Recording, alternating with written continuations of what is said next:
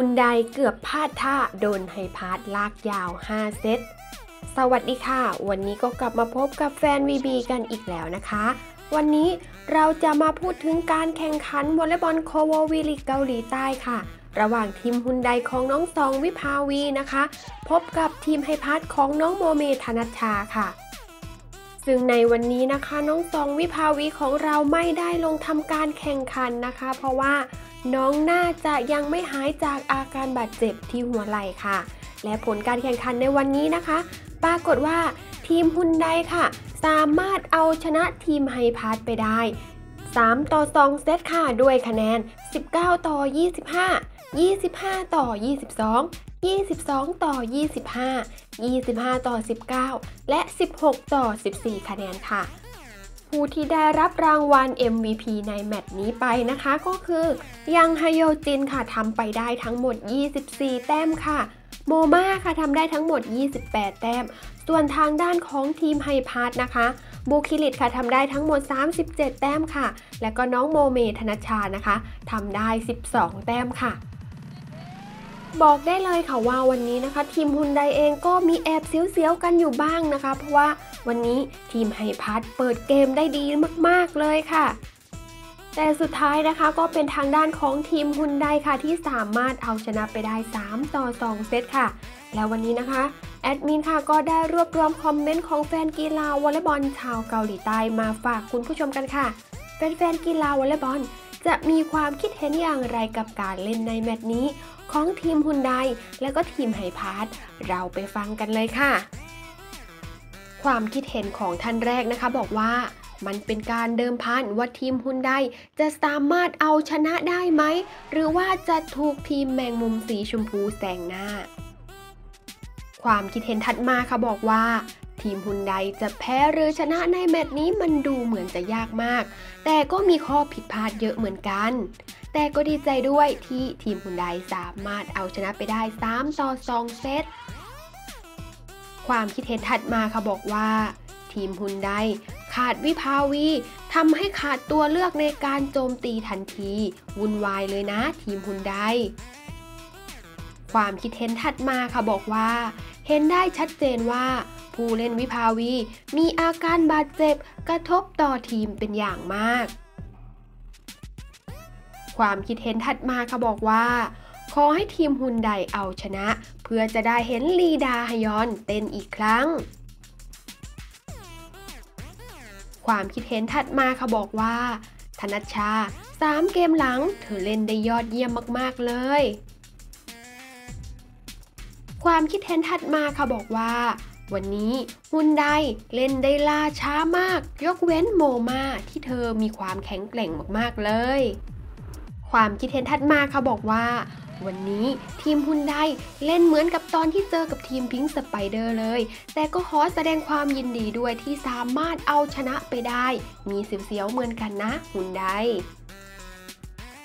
ความคิดเห็นถัดมาค่ะบอกว่า ไม่ต้องเป็นกังวล ทีมฮุนไดเป็นดีเซล ร้อนก่อนแล้วจึงเร็ว ความคิดเห็นถัดมาค่ะบอกว่า การปรากฏตัวของวิภาวี เป็นที่ต้องการของทีมฮุนไดจริงๆ ถ้าหากว่าทีมขาดเธอไป ไม่รู้ว่าจะเป็นอย่างไร ความคิดเห็นถัดมาค่ะบอกว่าฮุนไดเกมรับล้วม เกมรุกออนบล็อกไม่ทำงานพลาดเองเยอะมากๆ ความคิดเห็นถัดมาค่ะบอกว่าทีมฮุนไดตั้งแต่ที่วิภาวีไม่ได้ลงเล่น ตัวรับเสียหายมาก ความคิดเห็นถัดมาค่ะบอกว่า โคตาเอเชียมีอิทธิพลจริงๆ โดยเฉพาะวิภาวีที่เล่นให้กับทีมฮุนได เมื่อทีมฮุนไดไม่มีวิภาวี เกมรับและเกมรุกของฮุนไดอ่อนลงทันที ความคิดเห็นถัดมาค่ะบอกว่า ทีมฮุนไดถ้าหากว่าเกมรับของคุณทำได้ดี มีความกระตือรือร้นและว่องไวในการเล่น บางทีคุณอาจจะเอาชนะไปได้ 3 ต่อ 0 เซตเลย ความคิดเห็นถัดมาค่ะบอกว่าวิภาวีได้รับบาดเจ็บ ส่วนคนอื่นๆ ยังไม่พร้อมเป็นหนึ่งเดียวกัน ความคิดเห็นถัดมาค่ะบอกว่ายังฮโยจิน วางลูกบอลได้เก่งมากๆ ความคิดเห็นของท่านต่อมาค่ะบอกว่าฮุนไดเล่นแบบนี้ลุ้นไม่ขึ้นเลยจริงๆ การต่อสู้ของทีมพวกคุณหายไปเลย แต่ก็ยินดีด้วยที่สามารถเอาชนะได้แบบเฉียดชิว ความคิดเห็นถัดมาค่ะบอกว่า เมื่อไรนะ วิภาวีจะหายจากอาการบาดเจ็บ ถ้ามีเธอลงเล่น ทีมฮุนไดจะดูมีชีวิตชีวามากกว่านี้ ความคิดเห็นถัดมาค่ะบอกว่าสิ่งที่น่าเสียดายที่สุดก็คือทีมที่ยอดเยี่ยมอย่างทีมฮุนไดเมื่อไม่มีโคต้าเอเชียได้ลงไปเล่นในสนาม มันก็จะเละเทะไปแล้ว ความคิดเห็นถัดมาค่ะบอกว่า เตรียมตัวให้พร้อมสำหรับพิงสไปเดอร์ที่จะขึ้นสู่อันดับต้นๆ ความคิดเห็นถัดมาค่ะบอกว่า หัวเรือของทีมฮุนไดคือโมมาและยางฮโยจิน ความคิดเห็นถัดมาค่ะบอกว่า ทีมฮุนไดเมื่อไม่มีวิภาวีกลายเป็นแบบนี้ไปแล้วเหรอ ความคิดเห็นถัดมาค่ะบอกว่า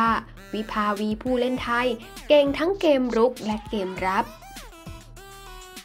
ความคิดเห็นของท่านต่อมาค่ะบอกว่า แบยุนอา คือบล็อกที่ดีที่สุด ความคิดเห็นถัดมาค่ะบอกว่า ยังฮโยจินเล่นเก่งมากๆเลย ความคิดเห็นถัดมาค่ะบอกว่า เสร็จหลังๆธนัชชาเล่นเกมรับได้ดีมากๆเลย แต่โค้ชก็เอาออก ฉันไม่รู้ว่าเป็นเพราะอะไร ความคิดเห็นถัดมาค่ะบอกว่า ช่วงท้ายเซตที่ 5 ทีมให้พาร์ทเสิร์ฟเสียทำให้เสียสมาธิไปแล้ว ความคิดเห็นของท่านต่อมาค่ะบอกว่า โอ้ พระเจ้า น่าเสียดายจริง ๆ ที่ทีมไฮพาสพ่ายแพ้ เสียใจมากๆเลย แต่ก็ไม่เป็นไรวันนี้พวกเธอเล่นได้ดีมากๆ ความคิดเห็นถัดมาค่ะบอกว่า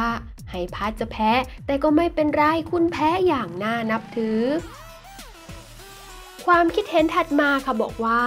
ขอแสดงความยินดีกับทีมคุณใดด้วย ถึงแม้ว่าจะเล่นลากยาวกันถึง 5 เซต แต่ก็ไม่เป็นไรพวกคุณก็สามารถเอาชนะได้เหมือนเดิม ต่อไปเป็นความคิดเห็นของแฟนกีฬาวอลเลย์บอลชาวเกาหลีใต้ท่านสุดท้ายนะคะ บอกว่าทุกความเห็นล้วนให้กำลังใจทีมฮุนไดและสุดท้ายเขาก็บอกว่า ถ้าหากผู้เล่นวิภาวี ไม่ได้รับบาดเจ็บ บางทีมันอาจจะดีกว่านี้ก็ได้ ค่ะ และนี่ก็คือความคิดเห็นของแฟนกีฬาวอลเลย์บอลชาวเกาหลีใต้นะคะ หลังจากจบเกมการแข่งขัน ระหว่างทีมฮุนไดนะคะ แล้วก็ทีมไฮพาร์ทค่ะ แล้วเพื่อนๆล่ะคะ มีความคิดเห็นอย่างไรกันบ้าง อย่าลืมคอมเมนต์ใต้คลิปวิดีโอด้านล่างได้เลยนะคะก่อนจากกันค่ะ อย่าลืมกดไลค์ กดแชร์ กด Subscribe เพื่อเป็นกำลังใจให้กับแอดมินด้วยนะคะ แล้วเจอกันใหม่ ในคลิปวิดีโอถัดไปค่ะ